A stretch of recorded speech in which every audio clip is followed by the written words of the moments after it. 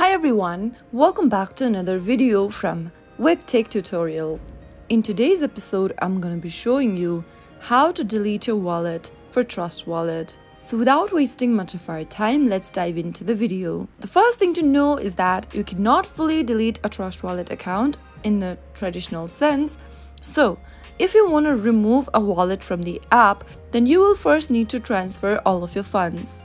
Launch Open Trust Wallet application and make sure to log into your account. Ensure that you've transferred all of your funds to another wallet or exchange since residual funds in a deleted wallet will not be accessible. Once you've done that, go to the settings icon at the top left corner of your main homepage. From the settings menu, tap on wallets. Locate the wallet you would like to delete and tap on the three dots right next to it. Now, tap on the trash can icon at the top right, but before doing that, make sure to back up your recovery phrases just in case you might need to log in back to your wallet in the future. From the secret phrase backups option, make sure to tap on either iCloud or the manual backup option. Reveal your secret recovery phrases and write it down in the correct order. Once you've done that, you can now delete your wallet by tapping the trash can icon at the top right in the pop-up, tap on delete. Within a few minutes, you will now be able to delete your wallet from Trust Wallet. If you ever want to get back to your wallet, you can do so by tapping on add existing wallet and entering your mnemonic phrases. If you have your 12 word recovery phrases, you can restore the deleted wallet anytime you want.